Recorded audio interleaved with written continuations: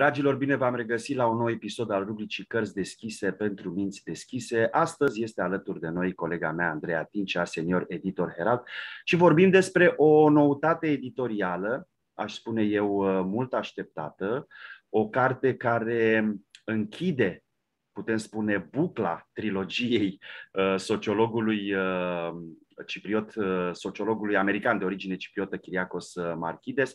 Este vorba despre izvorul iubirii, un pelerinaj în inima spiritualității creștine. Iată, după muntele tăcerii, după darurile deșertului, vine și această a treia carte a sociologului cipriot Chiriacos Marchides, Izvorul iubirii, care povestește cu admirație, putem spune cu respect și cu bucurie, pe alocuri chiar și cu umor, într-un limbaj uh, familiar, într-un limbaj accesibil, într-un limbaj apropiat de inima omului contemporan, despre Hristos ca arhetip divin descoperit lumii, a cărui imagine este menită să ne ajute să ne vindecăm de înstrăinarea de spirit adusă de modernitate, de o lume aflată cumva într-o stare de uh, înstrăinare, am putea spune. Uh, așa cum spuneam, o carte uh, foarte așteptată, o carte superbă în colecția Spiritualitate uh, creștină, o carte la care tu ai uh, lucrat. Uh, mă gândesc că a fost uh, o mare bucurie să lucrezi la această carte și, cum spuneam puțin mai devreme, să închizi așa, să întregești uh, această uh, buclă. Bună ziua, Sorin, bună ziua tuturor!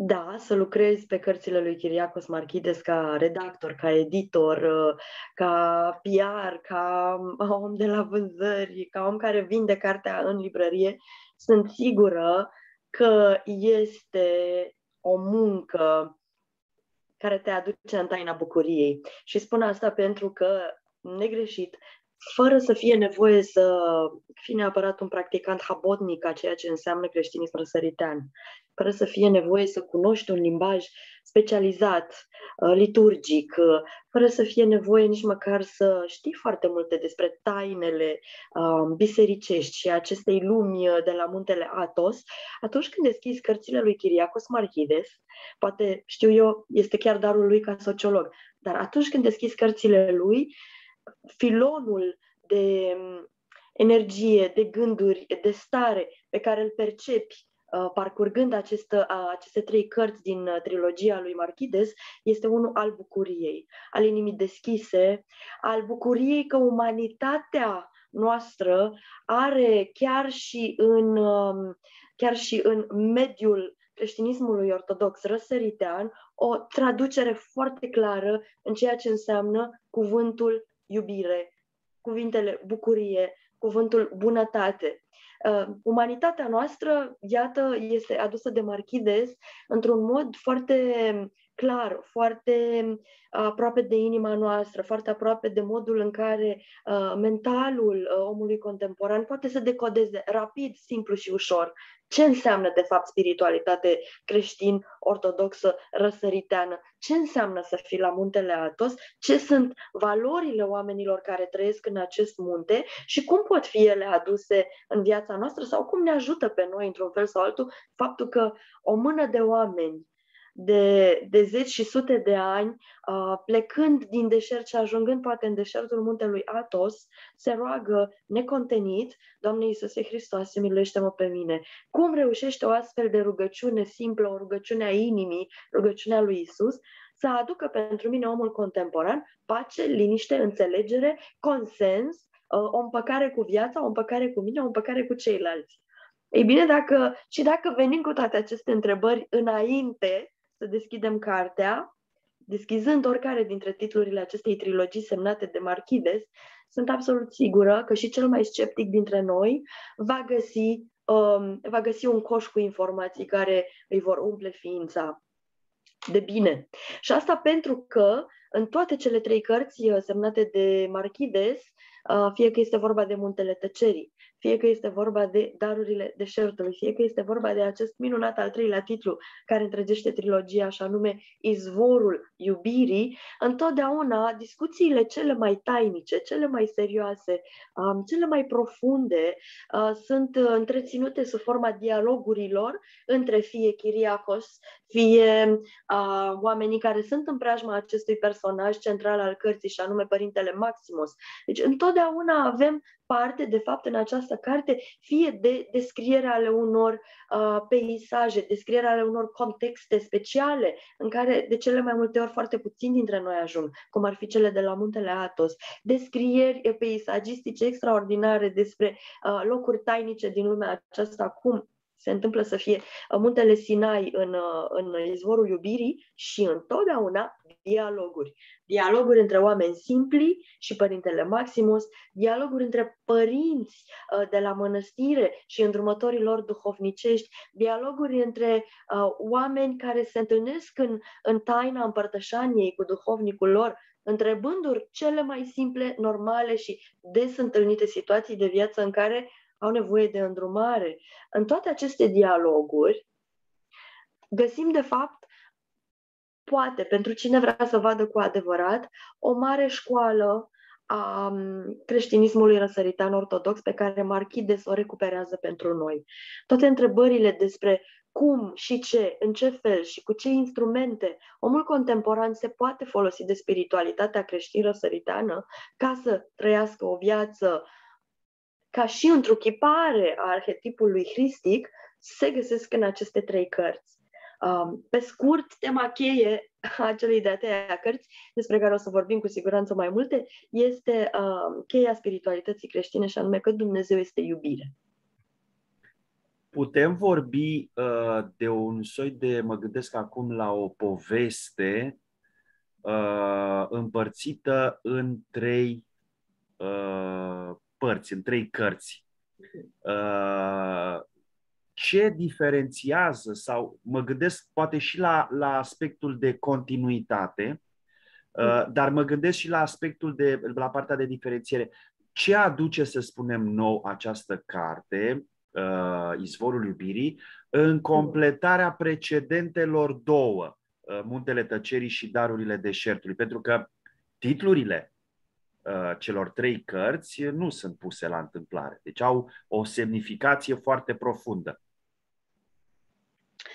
Așa este. N-aș vrea să devoalez uh, toate aceste, um, eu știu, surprize pe care orice cititor uh, pasionat și până la urmă pasionat de astfel de subiecte ar putea să le descopere în trilogie, însă, într-adevăr, nu este vorba de a mai avea încă un titlu de Marchides în casă. Este vorba de cele mai multe ori, când vă întâlniți cu ce se întâmplă în aceste cărți, de a vrea să-l ai și pe următorul, de a vrea să ai aceste trei nestemate unul lângă altul și de a te cufunda în ele în funcție de nevoia ta din acest moment. Îndrăznesc să spun că avea această, um, aceste trei cărți în, în biblioteca de acasă uh, este ca și cum ai avea uh, un duhovnic foarte drag și blând, aproape inimii tale, de fiecare dată când ai nevoie. De ce? Pentru că ele tratează într-adevăr, pe de o parte, diferențiat ca o lupă, fiecare dintre ele accentuează informații în mod special despre o anumită latură a practicii atonite, despre o anumită latură a practicii spirituale creștine răsăritene. Um, și unele dintre, altele dintre ele vorbesc despre, bineînțeles, alte practici, alte, alte lupe asupra altor problematici cu care omul contemporan se întâlnește. Evident, în, în, în viziunea de deasupra, toate trei sunt în definitiv um, într-o încercare de a cristaliza pe înțelesul tuturor oamenilor ce înseamnă practica spirituală atonită și cum ea poate fi practicată în viața omului contemporan. De deasupra toate vorbesc de același lucru, dar în detaliu și când deschizi pe fiecare dintre ele, descoperi de fapt răspunsul pentru anumite tipice problematici din viața uh, omului contemporan în fiecare separat.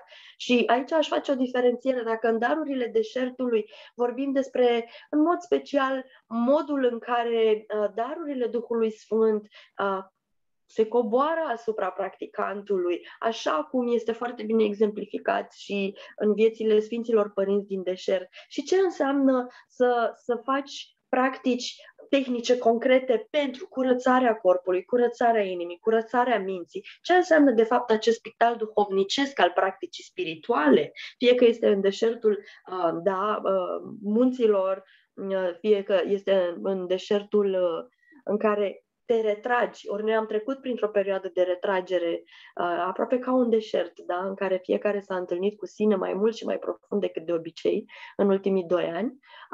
Ei bine, în izvorul iubirii, acest al treilea titlu, este vorba despre cum să deschizi spațiul interior, cum să hrănești prin practica spirituală spațiul interior, astfel încât să primești uh, roadele Sfântului Duh, care sunt diferite de darurile Sfântului Duh. Și aici o să uh, menționez faptul că această a treia carte, Izvorul iubirii, nu întâmplător, vedeți, toate cele trei titluri punctează într-un mod foarte codat, de fapt, ce se găsește în, ca accent în interiorul fiecărui titlu. Dacă Muntele Atos este o căutare, este partea de început chiar și a cercetării lui Marchides, în ceea ce înseamnă spiritualitate desăvârșită uh, um, um, creștină, ce mai găsește o, omul contemporan în acest sens, în, în jurul lui, cine și ce și cum poate să-i aducă o cale de practică spirituală omului contemporan pe filiera creștină.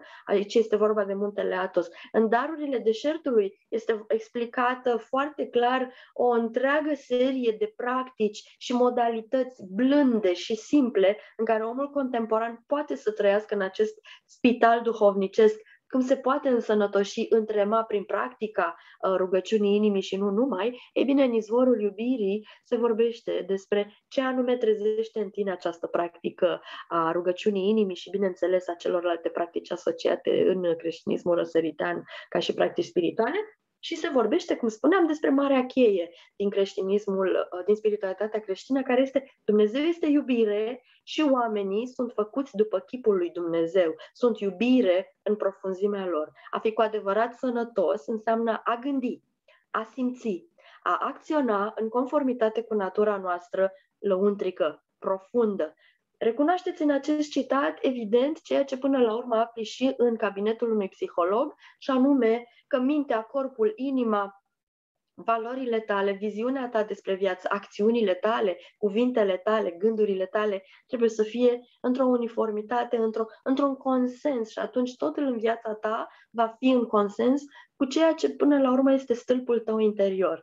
Um, în această carte, în izvorul iubirii, se vorbește încă o dată, ca și în celelalte două titluri, despre ascesis, despre exercițiile spirituale, pe care, la fel ca părinții de la muntele Atos, dar într-o măsură potrivită vieții noastre laice, putem și noi să le practicăm. Și haideți să vedeți ce interesant că și în aschesisul de tip atonit se regăsesc atât de clarele etape și forme de exerciții spirituale ca în foarte multe alte practici uh, spirituale. Se vorbește despre post, despre rugăciunea fără, ne- fără încetare, rugăciunea inimii neîncetată, da? Se vorbește despre studiul scripturilor și al vieții sfinților, se vorbește despre milostenie, se vorbește despre privegherea de noapte și cumva despre aceste forme de um, retragere a simțurilor și de cumpătare, se vorbește despre spovedanie, despre împărtășanie. Toate aceste uh, exerciții spirituale, parte din aschisisul atonit, în mare măsură, sub alte forme explicate, se găsesc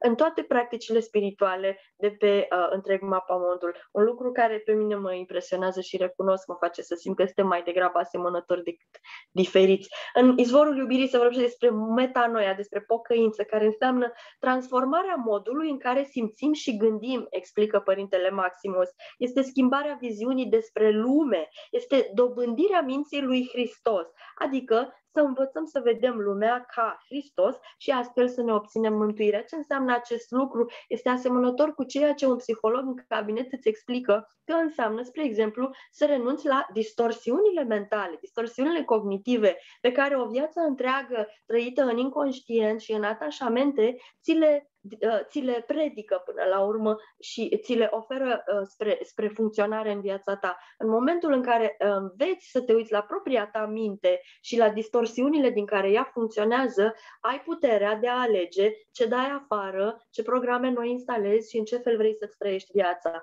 Ori ceea ce se întâmplă într-o practică spirituală, cum este creștinismul răsăritan, este că acolo ți se și oferă un model arhetipal al minții pe care tu poți să îl urmezi în viața ta și este vorba de modelul uh, minții cristice. În cabinetul psihologic ți se vorbește despre ce înseamnă să gândești sănătos și să renunți la distorsiuni mentale.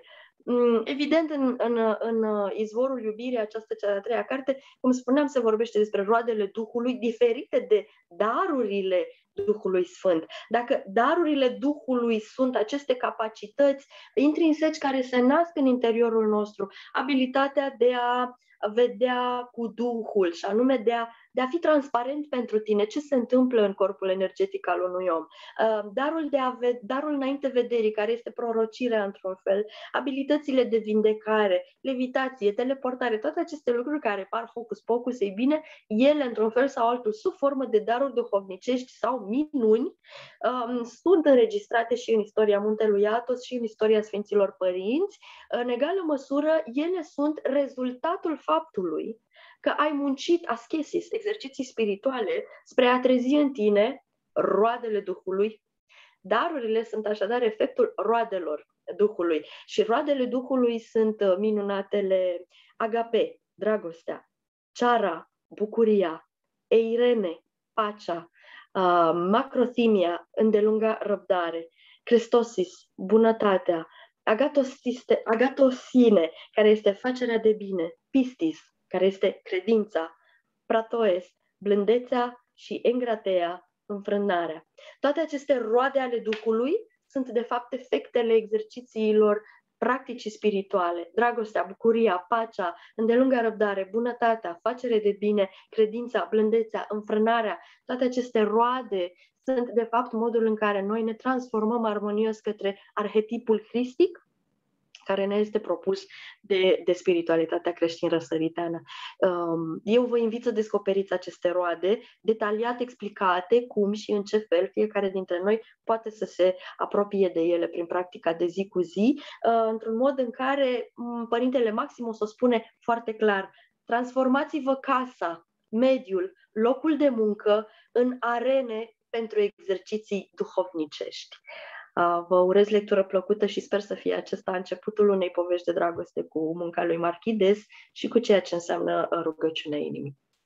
Dragii noștri, a fost alături de noi uh, Andreea Tincea, senior uh, editor Herald și am vorbit astăzi despre o noutate editorială publicată în colecția Spiritualitate Creștină, Izvorul iubirii, un pelerinaj în inima spiritualității creștine de sociologul american de origine cipriotă Chiriacos Marchides. Îi mulțumim foarte mult, uh, Andrei Tincea. Noi ne dăm întâlnire la un nou episod, o nouă ediție a rubricii Cărți deschise pentru minți deschise. Până atunci să aveți o zi binecuvântată și lectură plăcută. La revedere!